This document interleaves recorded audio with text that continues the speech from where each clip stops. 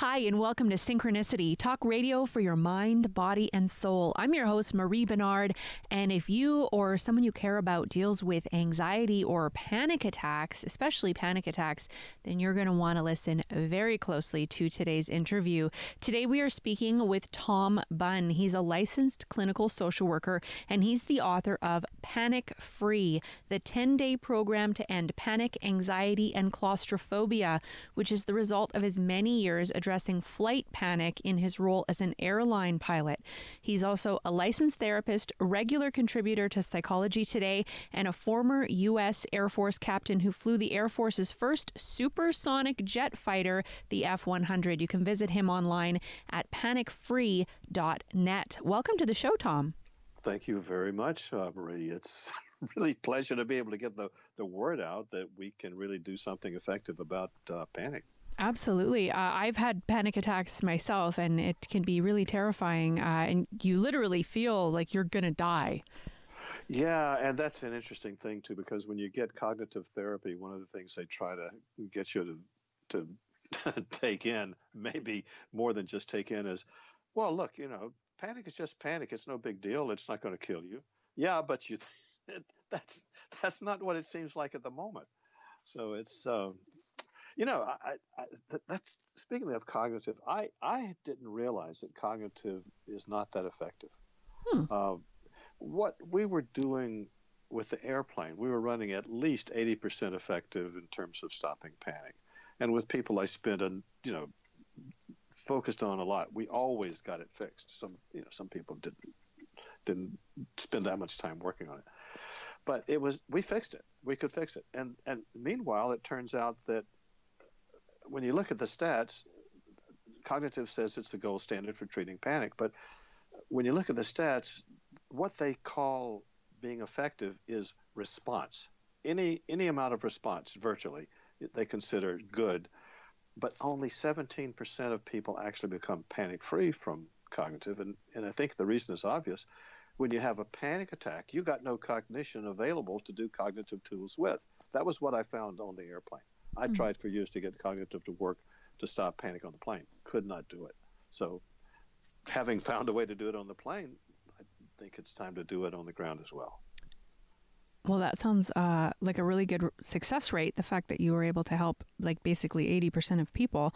Um, so I'm curious now, I've had my own panic attacks, and one of the things that helped me is after suffering from panic attacks enough times, I started to learn, oh, okay, this is a panic attack, and I could catch it before it mm-hmm. got into. Because once you're in full on panic mode, you poten- I mean, I, I had one. Uh, I was driving and I hydroplaned, and I felt a panic attack set in. And if I didn't have the wherewithal to calm myself down, I actually could have been in physical danger while driving. Yeah. So, what's the difference between, like, I had a few really bad panic attacks. Now I can calm myself down through breathing and just going, okay, this is a panic attack coming. You're going to be okay. What's the difference between that and people who aren't able to do that and need more help? I think that the key problem is something that there's a well known psychological theorist in, in England, Peter Fonagy. He, he has a term called psychic equivalence. Psyche meaning the mind, and you know what equivalent means, of course. What he means by this term is that what the person has in their mind is, as far as they're concerned, exactly what's real. No question about it. And ordinarily, when we um, have something in mind, we might uh, we might question it a little bit. We might uh, critique it to make sure it's accurate. But when we get under stress, we sometimes stop doing that. So for example, a person might have um, a pounding heart, and they might have the thought, "Oh, I wonder if this is okay. I wonder if this is a if this is a heart attack." Well, if they just stop at that uh, and say, "Well, it it might be. Maybe I better get it checked out," they don't have a panic attack. On the other hand, if the thought that they might be having a panic attack triggers enough stress hormones to shut down the capacity that we have to separate imagination from something that's real, uh, we go into what Fonagy calls psychic equivalence. We believe that what we have in our mind, even though it starts as a thought, now it becomes a certainty. and we just believe we're having a heart attack. And then that sets up the possibility of panic because you can't run away from a heart attack. So the two things I think that compose a panic attack is you think there's some great danger that you're in and you can't escape it. Because if you can escape it, you'll get rid of the panic attack. But the other thing is you, you've got to believe that there's something seriously wrong. And I think maybe how you found your way out of having panic attacks was you were able to see as you were starting to edge into it that it wasn't a certainty. What appeared to be a problem was not a certainty. You, you, you had some doubt about it. It's when you lose doubt and you're sure that you're having the heart attack or whatever it is, that's when you can go right into panic. Mm. Well, I have had um, what I'm assuming was a panic attack where I managed to stay calm. I, it didn't escalate, but mm-hmm. and I went to the doctor, um, but I was still having all of the symptoms of a heart attack. Mm-hmm. because mm-hmm. you know even the pain in my arm and all of that because my belief was maybe I'm having a heart attack because I'm I'm doing all the things right to to alleviate the panic attack and it's not stopping. So maybe this really is a, a heart attack. Yeah, exactly. And the, you know the only way you can be sure is to have some tests done. Mm-hmm. and that's one of the things I've, I've put in the book is that okay we're talking about panic free we're talking about stopping panics is but wait a minute, let's make sure that what you're dealing with is really panic, not that you're not having some kind of heart problem. So you need to talk it over with your doctor and find out if if we're talking about panic or if there's some problem with your heart that uh, you haven't really checked out. Mm-hmm. Thank you, Tom. So, can you tell take us a, step back to? Um, I think it's really cool that you were fighting or flying the the jet fighters and stuff. Did you ever get panic while you were flying, or was this just because you saw your passengers having panic attacks? Well, back when I was flying in the Air Force, I remember having a panic attack. what happened when you're in training? Um, you're flying a little propeller driven airplane that goes maybe 120 miles an hour. And it's a two seater. You're there in the cockpit, and you've got this complete son of a bitch in the cockpit as your instructor. They just have this ability to use the foulest language that you've ever probably not you haven't even heard some of it, and they just sit there and just yell at you for the entire flight. It's stressful. so. I, I remember that it, it, was the the first day he gave me the controls of the plane and I started to fly. He says, "What are you trying to do? Kill us?" So it, you, you spend six, seven, eight sessions, one hour sessions flying with your instructor. And what I was seeing was that in training, these guys who had now gotten up to about uh, eight sessions and they hadn't soloed, they were dismissed from the program. They were washed out. So here I was coming up to my eighth session with the instructor. And he, I land the plane, he says, okay, I've got the plane. He wouldn't even let me taxi it. He drove it over to the edge of the tarmac and he shut the engine off. And I thought, oh, this is it. He's going to come and tell me I'm finished. So he got out of the cockpit. It was a front and back thing. I was in the front, he was in the back. He got out on the wing, came up to where I was, and he says, okay, Tom, I want you to go up and um, and and go up in the uh, maneuver area, and I want you to do a stall series and some barrel rolls and uh, some aileron rolls. Don't do any loops. Um, and then fly around about 20 minutes, do something you want to do, and then come and make uh, one landing. No touch and goes, just full stop landing. And he walked off the wing of the plane. And I was still sitting there saying, I'm finished. I was so sure that I was finished that even though he had just told me to go solo, I didn't get it. Hmm. Until finally, as he was walking over toward um, the edge of the where the planes were parked, I saw him do something I'd never seen him do. I saw him smile, and that kind of broke the spell. And I realized, wait a minute. So I was kind of on autopilot, and so I did my checklist.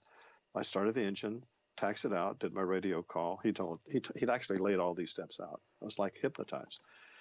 Took off, went up and did the maneuvers he told me to do. But you remember he said, do something you want to do for 20 minutes? In this program, it was so intense that I hadn't done anything for 20 minutes that I wanted to do in, in weeks. And suddenly it realized, it, the realization hit me. I'm in this plane all alone, and I have to land it and I don't know how because he's been telling me for days I don't know how. Oh so, God! so I had a I had a panic attack, but the problem was, well, you don't have any you don't have anything to do except say, okay, there's if even if I don't know how to land the plane, there's nobody in this cockpit who knows more about it than I do, so I guess I'm going to have to try. And so it actually worked out. So it was a very strange thing to to suddenly have a panic attack on your first solo flight. Wow. But the thing is, you know, you, you when you have to push through it, then it's different than if you end up having a situation that you can run from. I think if you if you have a situation where you can escape, then panic probably gets more of a ability to get to you. Mm. But if hmm. you if you have no choice but to push through and, and get past the panic attack, then I, I think that sort of breaks it. And that was unusual situation. I don't know whether that works for any other type of panic. Uh, that's interesting because I think that um, yeah, like if you can escape, then it gets reinforced. Mm, yeah, yeah. Uh, the idea, okay, I panic. There's nothing I can do but escape, so I've got to escape. Yeah. Yeah, I think the the first time that I had a panic attack and successfully was able to de-escalate myself, I was on a packed train um, on a here we have Canada Day. It's kind of like the Fourth of July. Yeah. Um, so it was packed public transit, and I realized, okay, if I don't calm myself down, I'm going to start throwing up right here on the train. I, it's going to uh-huh. be a really bad uh, medical emergency. So and I was standing up. So immediately I asked someone, I was like, I hate to do this, but I need to sit down. I'm going to faint. And so I sat down and then I breathed. And then that the first opportunity, I was able to get off the train and calm myself down. But if I hadn't been in that situation where I had no choice but to take care of myself, uh-huh. maybe that would have kept reinforcing. Well, it's interesting you're talking about, you said, you know, I need to sit down, otherwise I'm going to faint. Because when you get really hyper aroused, um, you can get hyper aroused enough that you have a bounce back effect and you go very hypo aroused. And your heart rate goes way down and your breathing rate goes way down. And there's not enough blood supply to the brain and you could faint or pass out. Uh, and then when you get into that kind of state where you're in, in shutdown, anything that you hear or do actually just exacerbates and keeps it keeps you stuck there. But if you just sit and do nothing, it goes away. Hmm. Well, we're going to talk about that in just a moment. We are speaking with Tom Bunn. He is a licensed clinical social worker, a former Air Force F 100 jet fighter pilot, and he's the author of Panic Free, the 10 day program to end panic, anxiety, and claustrophobia. You could find his website at panicfree.net. So, Tommy, we are just talking about doing nothing and then it goes away. Oh, what? Let me, let me just throw something that it, it, it, it, it's not net, it's, it's, um, it's uh, uh, panic free uh, dot. Um, Oh no, you're right. You're right. It's, I sort of say it's dot com. Yeah, you're right. It's dot net. Panicfree.net. yeah, right. Okay. Okay, so we, so we're switching to. You, you, I, I, interrupted you. Uh, what you were. You were just saying about uh, doing nothing and then it goes away. Well, yeah. The, what happens is when you get in that shutdown state, anything that comes in exacerbates it. And if, for example, my my wife has a grandson who's on the spectrum, and what we found when he goes into the shutdown state when he was three or four, anything we try to do to bring him out of it, it pushed him farther into it. So we just found that the only thing you could do is let him kind of the stress hormones burn off so that he goes back to normal. Anything you do at all, it just uh, makes it take longer.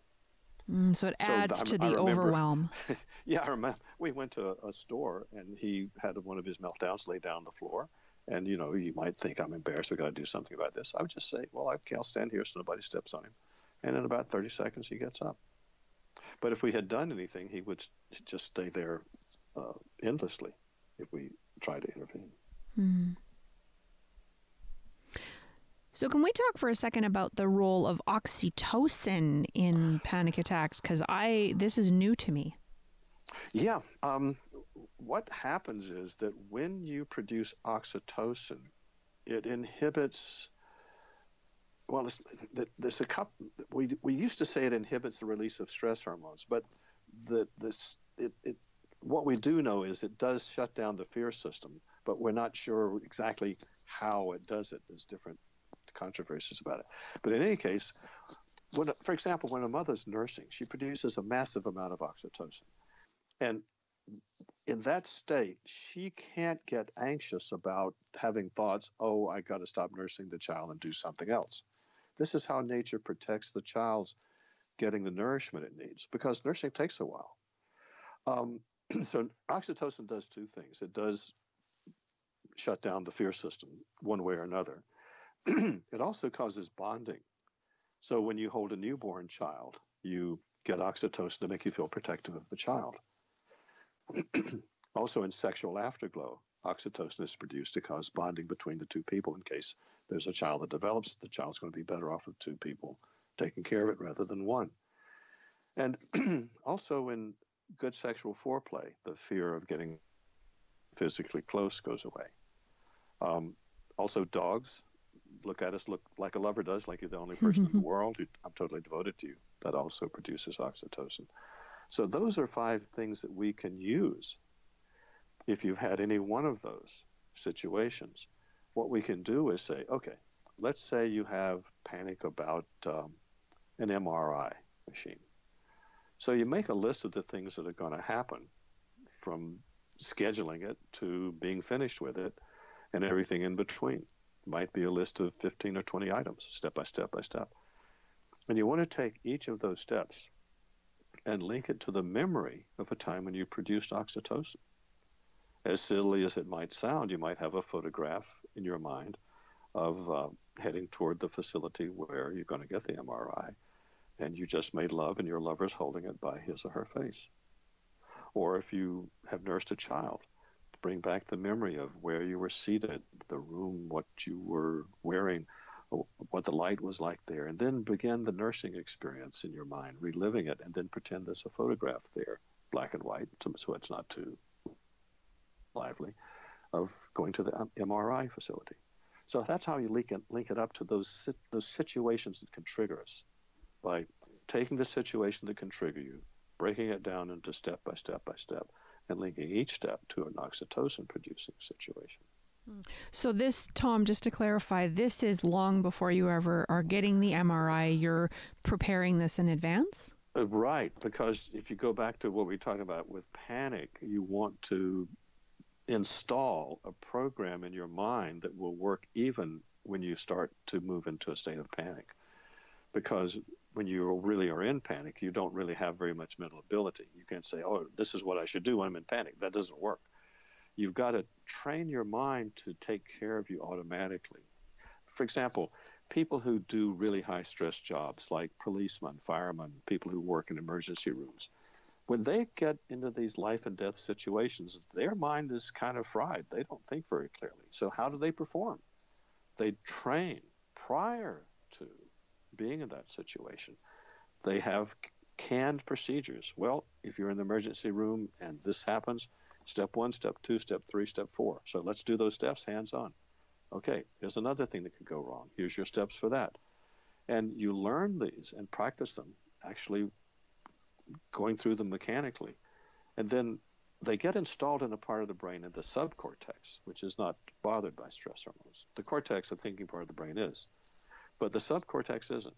So when your thinking part of the brain goes south on you, the subcortex, with its unconscious procedural memory that you've where you've installed your program, it comes in and takes care of you. Now, most people will say, "I don't know anything about unconscious procedural memory," but anyone who buy, who, who who drives a car does. If you go back to when you first learned to drive a car, it wasn't easy. You had to concentrate. But as you concentrated on it, it got easier because your unconscious procedural memory was beginning to take on some of the roles, some of the tasks. And then finally, you're now able to go driving down the road and have a conversation without paying very much attention to the driving. Because that part of the brain that will take care of you in panic is taking care of you as you go down the road. The question is, how do you how do you program it? Just by repetition, just like how you programmed it to learn to drive your car. So what we're doing is we're saying, okay, here's the MRI. You've got a couple of dozen steps of the whole process, maybe, maybe a dozen, maybe somewhere between that and a two dozen. So you break it down into all these little steps and link each one of them to a situation where you produce oxytocin. Now, that's to shut down the fear system. We're going to get in also probably to how you can activate the calming system, which is a same exercise but linking to something different. Mm. So there's when, a difference mm-hmm. between shutting down the fear system and turning on the calming system. They're not exactly. the same thing. Right. That's exactly right. Stephen Porges, who was a neurological researcher, um, discovered by accident that when he had he had some people he was ex- doing research with who were hooked up to heart rate monitors, and what he was researching was how much the heart rate changes when you breathe in and breathe out. You see, when you breathe in, you have a new supply of oxygen in the lungs, so the heart speeds up to transport it. But then after a few seconds, it's transported. Now you breathe out. Well, the heart doesn't need to beat so fast, so it slows down, maybe as much as 20 beats per minute while you're breathing out. Breathe back in, it goes back up by 20 beats, maybe 80 beats per minute. You breathe out down to 60. So that was what he was studying. And that change in heart rate is produced by activation or deactivation of the vagus nerve. Now, what he was interested in was the vagus nerve quality can vary from person to person. And it can also vary depending on the age. For example, a preemie has a very not a not very good quality vagus nerve, and so here's the potential for sudden death, uh, infant death syndrome, mm-hmm. with uh, problems with the vagus nerve. So that's what he was studying. Anyway, he had the subjects hooked up to his equipment. And sure enough, they breathed in, the heart rate went up, and they breathed out, it went down. But then something surprised him. A friend walked by, and suddenly the heart rate went down. He thought, what's going on here? So that put him into the other thing he was interested in, or has become interested in, what he calls a social engagement system. That when we're with other people, he says, without knowing it, everybody is sending and receiving signals that are picked up unconsciously.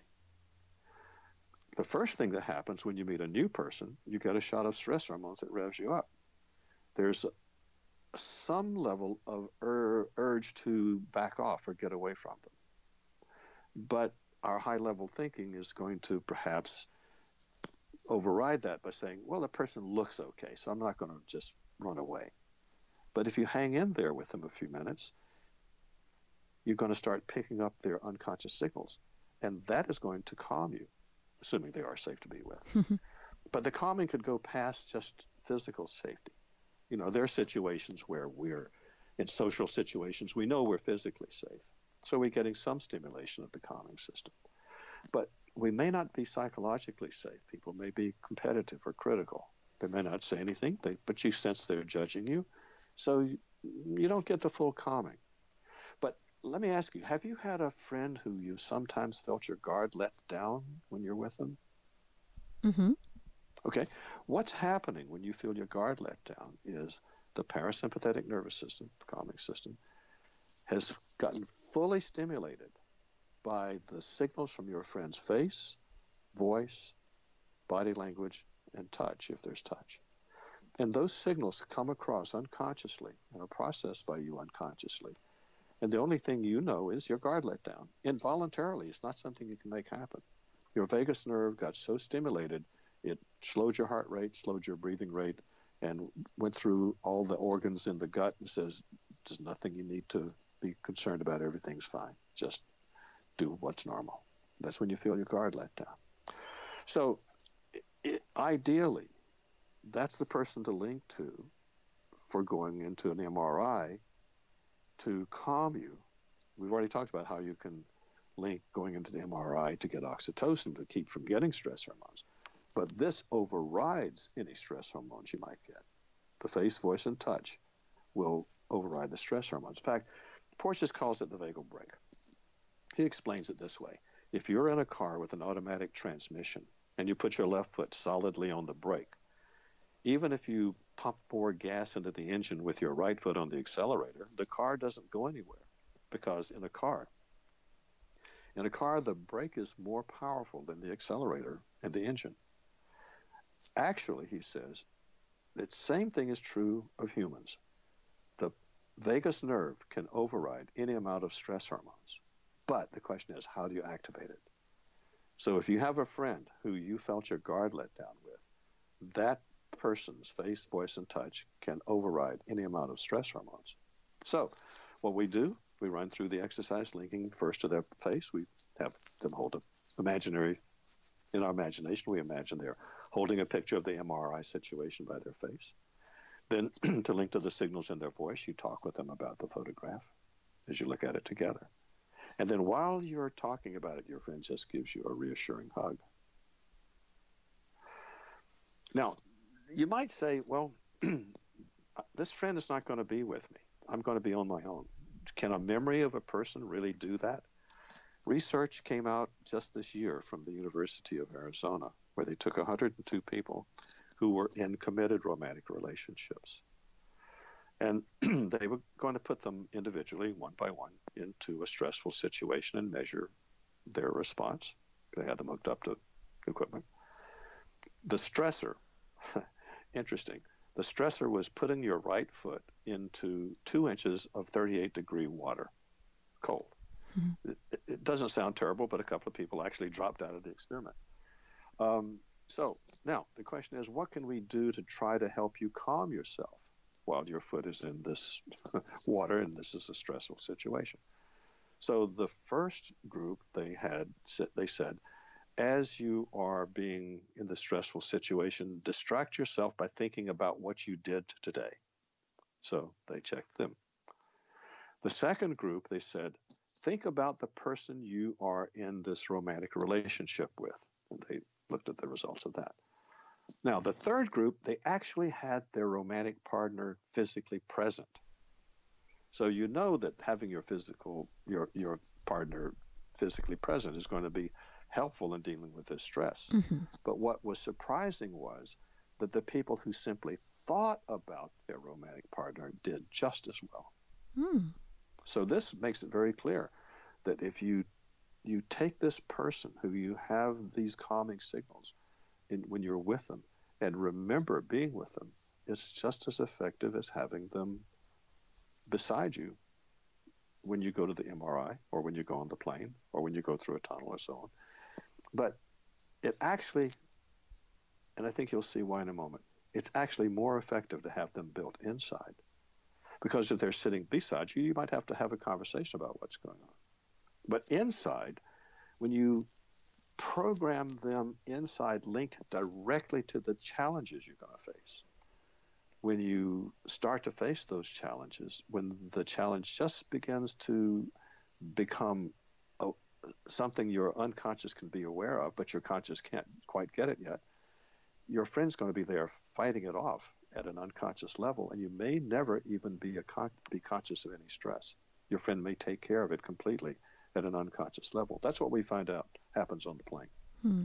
People get on the plane and they think I'm. I, they think I should be completely in a panic state by now, and, and they're not even feeling anxiety because they have linked someone who's important to them, so profoundly calming to them, to the door closing, the plane taxiing out, taking off, etc.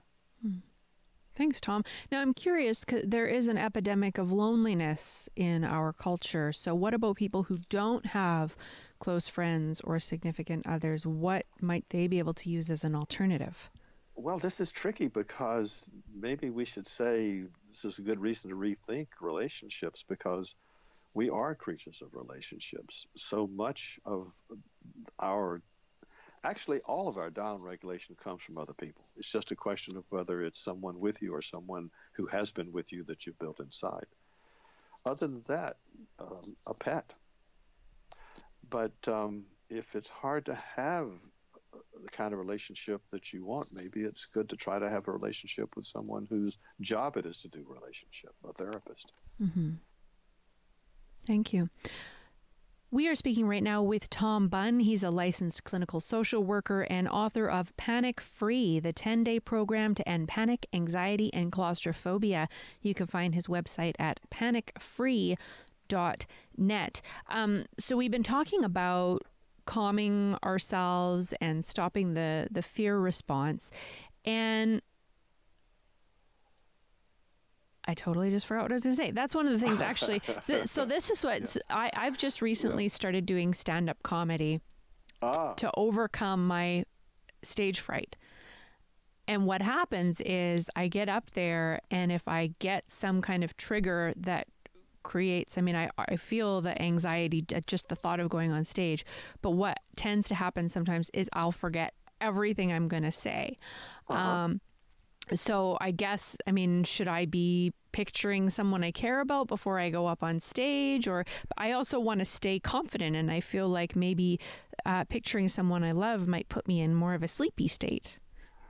Well, I think you could if you can go to the venue before anybody's there and and find some objects that are going to be in the room.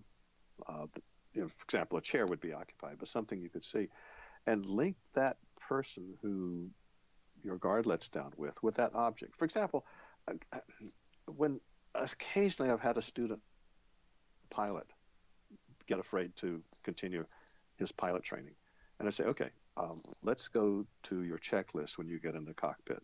You put your hand on the throttles and check that it's in the cutoff position.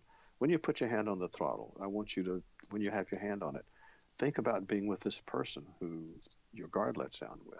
And then the next thing is you check the ignition switch. When you put your hand on that, think about so see see what we're setting up. So find something in the room that you'll be able to see when you're doing stand up that's going to link that you're going to link as you look at it with the calming person. Mm-hmm. Then when you're there doing stand up and you start to feel like something could go wrong here, go find that object. That object is connected to that person. But the second thing I want to mention is that sometimes we have a hard time accessing the, the sequence of words we have in mind. And one kind of trick that you can do is see if you can find a way to take the thing that you want to say and make a visual object of it that you could say well there's this tree and it's got a roots in the under the ground and it's got a this part comes out of the ground and this the branches and the greenery and all that, and it's shaped kind of like a cone. So if you you don't have to memorize that speech, if you can come up with the object. So if you can find a way to take what you're going to use in your comedy and find some way to picture it so mm. you can talk about it, that is a more substantial way to hang on to it than try to remember the words you're going to use. So like picture the scene of the story I'm telling. Mm-hmm. And then you might also just for another piece of safety, memorize very carefully the first five or six words you're going to yeah use. that help i i know the first the first bit and the last bit it's just sometimes if go. i forget that. That yeah. yeah yeah that's a good one too yeah because if you don't yeah if you don't know exactly what you're going to start out with it's like oh my gosh we're panic yeah yeah okay. So, why do you think that this it, that it's more it's important for more people to to learn about these these techniques? Well, first of all, because we we need to be able to have relationships, and sometimes having trouble with panic gets in the way of a relationship. Um, sometimes we look to be in a relationship with someone who's calming and we want them to calm us all the time. Well, they can't. You know, they're people too. So we need some kind of internal resource if we're going to be able to maintain a relationship. So very possibly, you mentioned the epidemic of loneliness. It may be that we don't have enough built-in resources. So if we can find in the past a person that we did have a relationship with it, it doesn't matter that they're no longer with us. If we had a time when we did have some good moments, we can go back and link to those good moments. It's, I think, it's kind of like if you have a jar of peanut butter, you can spread it on a lot of crackers. You can spread it on as many crackers as you want. If you've got just one person in your life, not now even, but sometime in your life when you had uh, the feeling of your guard let down, you can use that on any number of things that you need to control anxiety about. If you've got one situation where you produced oxytocin with a lover, with a baby, with nursing, with uh, a, a, pet, you can take that and spread it on all of these situations. Hmm. Beautifully said. Thank you. So we're we're talking about um, nursing and babies, and it sounds like, and maybe I'm misunderstanding this, but it sounds like you're saying that panic attacks actually stem from uh, young children not getting quite what they needed. Yeah, exactly, because uh, I think this is the way it works. When you're born, of course, your revving up system is mature. Any any baby can scream bloody murder, but it has no ability at all to calm down. So what happens? The caregiver, usually the mom, let's say, is going to, when the baby's upset, present her face. We do this intuitively. Soft, loving eyes.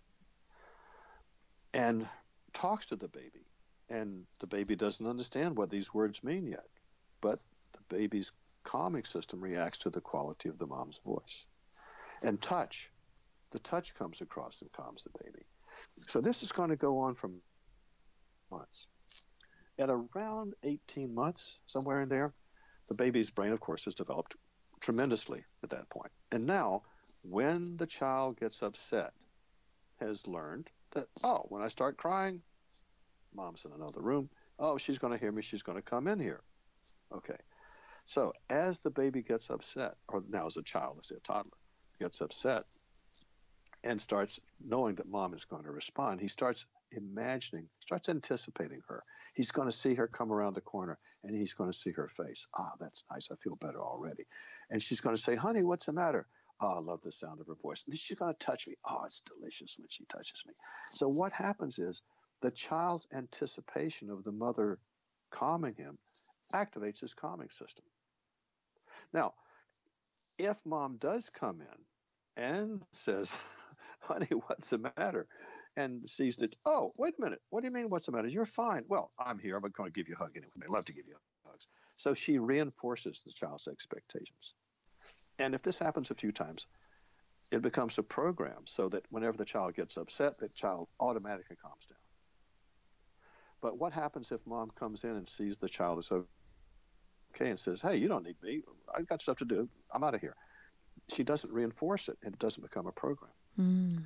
So it, it appears that about 60% of us build in a program so that whenever we get revved up, we instantly calm down, at least to a level of curiosity. What's going on? Whereas maybe 40% of us don't have that immediate down regulation. When we get a shot of stress hormones, we stay revved up until the stress hormones burn off. And that's because when we did calm ourselves down, we didn't get that reward that reinforced it. And so, it, so it didn't get rewarded, it didn't get reinforced, so it didn't become a program that's active today. Hmm. It, it atrophied back around 18 to 24 months, somewhere in there. Interesting. So oftentimes people say, well, what caused panic? What, what is it that triggers it? Well, we know what triggers it. The question is, where's the calming that's supposed to result? Look, when your cell phone rings, it's intrusive. When the amygdala fires off stress hormones, it's intrusive. It grabs our attention. But when you answer the phone, it quiets down so you can have a conversation. What happens for the person who has panic issues, I think, is when the amygdala fires off the stress hormones and you become aware of it, you stay stressed. It's like having a cell phone that when you answer it, it keeps ringing, and you still have to have a conversation with all that noise going on. You know, it, back to airplanes for a moment. The, the, when, the most serious thing that can happen on an airplane is an engine fire. And so in the simulator, you practice it again and again and again until you can do it in your sleep. I can still tell you what the procedure is, even though I haven't flown a plane in a long time. Hmm. the first step in dealing with the um, the problem. When the engine, when there's an engine fire, there's a there's a sensor in the engine nacelle that picks up the heat. So when that sensor picks up that there's a fire there, there's a light, a red light that lights up in the cockpit, and a bell that goes off. It's really loud. You can't miss it. When that bell goes off, the first thing you do is push a button to silence the bell so that you can talk to the other pilot and you can coordinate the steps you're supposed to do. You can't do that if the bell stays ringing. So that's kind of how we're supposed to be wired up. Yes, we're supposed to have the amygdala get our attention. Suppose you're focused on something really intensely focused and, and a threat does arise. You need the amygdala to be able to release stress hormones that will hijack your brain pull you away from what you're concentrating on to deal with an, a problem. So we need that. But now what we need also is to immediately be able to calm down from alarm to curiosity so that we can do a good job of determining is this a real emergency or a false alarm? And if it is a real emergency, what can I do about it? But for a person who has a panic problem, they stay revved up. And even if there isn't a real problem, they, because of their feelings, they believe there is a real problem. And they go into a state of panic because the imagination of what the problem may be becomes experienced as no doubt this is really what's happening. Hmm.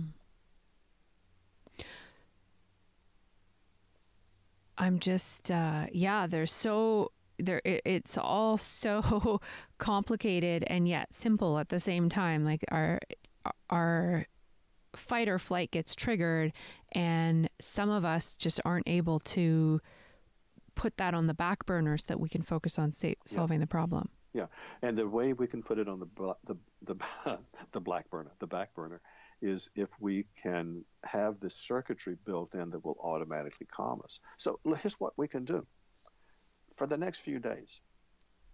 First thing we need to do is find a person who has that calming effect on us. Now, some people have had the feeling of their guard let down, so they know that they've had it. Maybe they can remember who it was with.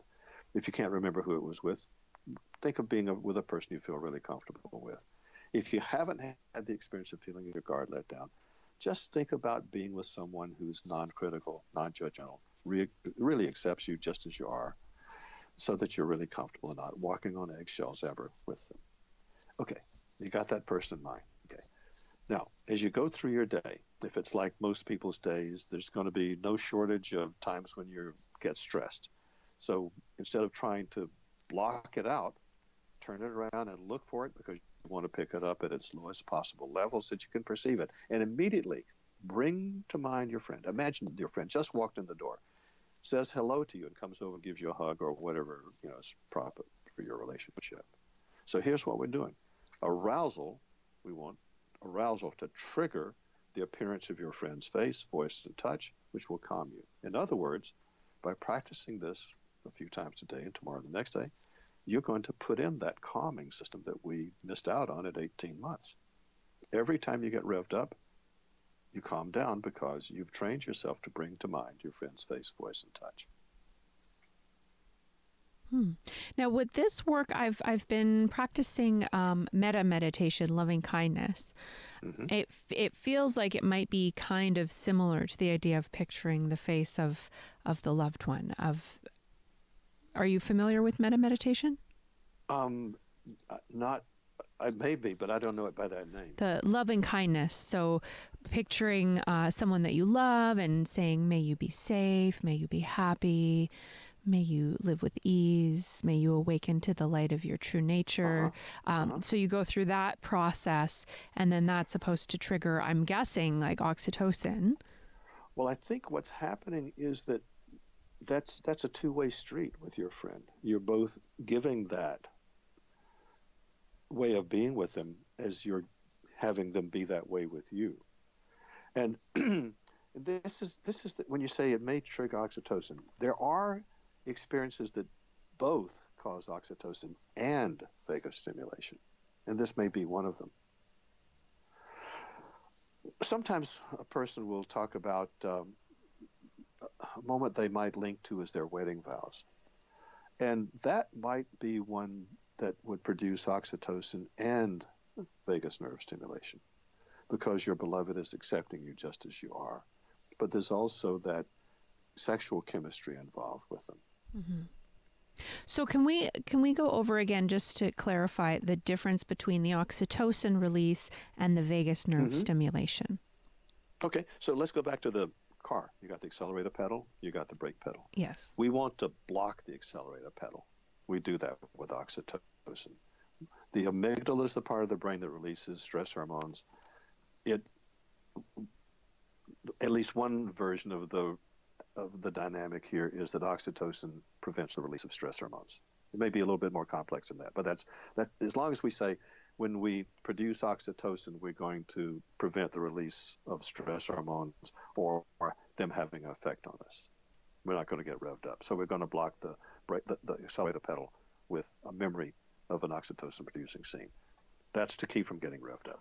Now, to calm down in situations where we nevertheless get revved up, perhaps by some surprise, we want to use the face, voice, and touch of a person who is completely accepting of us because the person who is completely accepting of us is sending us signals that we pick up unconsciously that activate the vagus nerve, slow the heart rate, slow the breathing rate, and give us that complete relaxation in the in the organs in the body.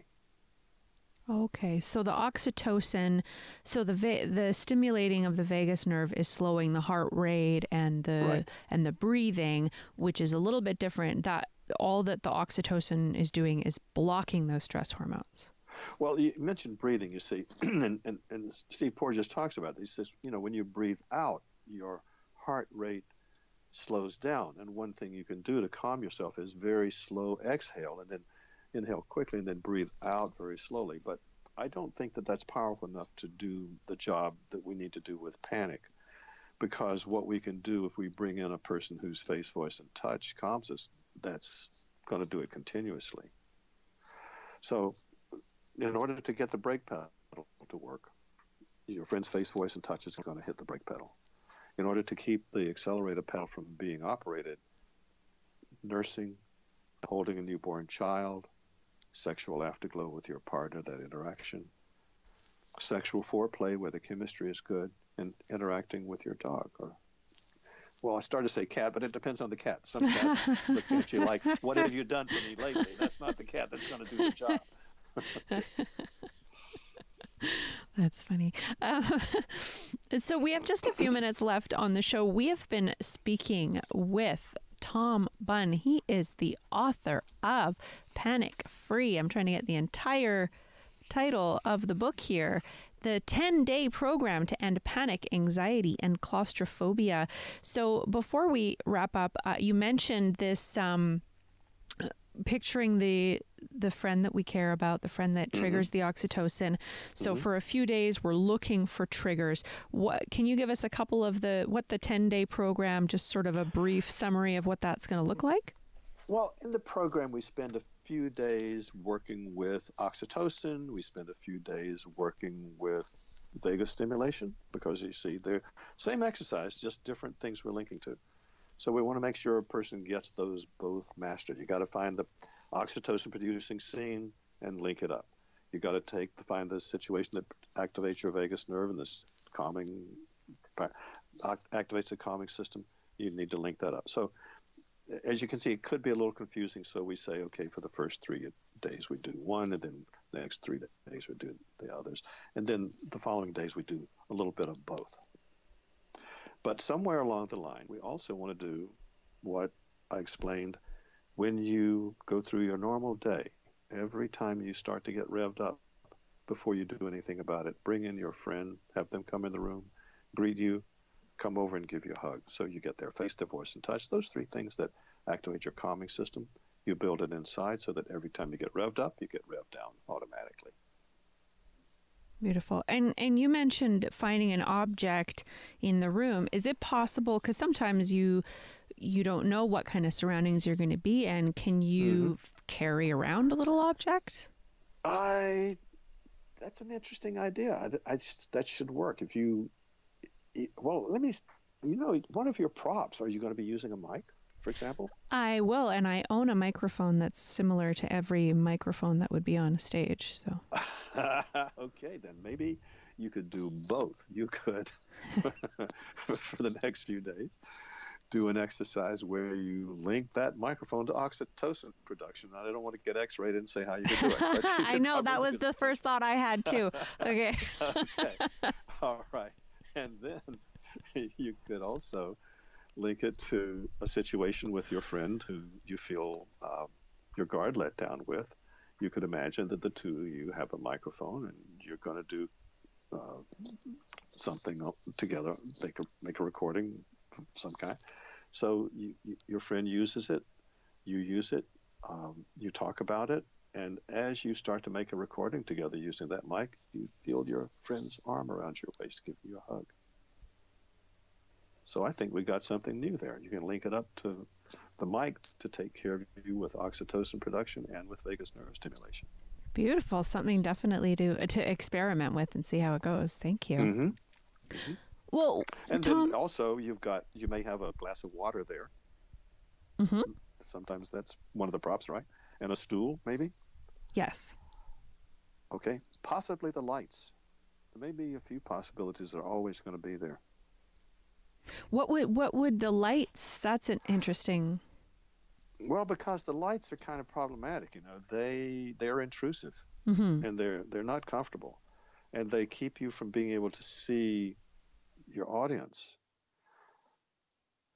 You know, I, I, this is a situation not unlike um, one that a client called about a few months ago, because he had been working not as a supervisor, but as on the same plane with other people. So when he was working in, his, in a group, uh, he was getting good signals from the people he was with. But he took a job in a different city, had to move, and now he's a supervisor. And he felt very stressed because now he wasn't getting any good signals from the people he was interacting with because he's their boss. So here you are in the in the stand-up comedy situation, and you know sometimes you're not going to get good signals, sometimes you are. So we need to have some other source than the audience when the audience isn't giving you what you need. So there you've got your microphone. You might want to link the lights also to vagus nerve stimulation and to oxytocin production, production somehow, as well as um, the microphone, a glass of water, a, a, a stool if that's one of the props you're going to have. Cool. And does it always have to? So does it have to look the same? Because I mean, if in a different place, things like stools are going to look a little bit different. Mm, yeah, they they may look a little different, but they're pretty generic. So I think that might be. I would try link. See, I would try linking to as many possibilities as you can that would be there. And even if the stool is going to be different enough, it doesn't work. You still got your microphone. You still got your lights. Um, got your glass of water. Beautiful. Thank you so much. So, we have been speaking with Tom Bunn. He's a licensed clinical social worker. He's the author of Panic Free, the 10 day program to end panic, anxiety, and claustrophobia. His website is panicfree.net. So, what do you feel, Tom, is the most important thing that you want to get across to listeners today before we close? Well, I, I, first of all, that, that we can fix it.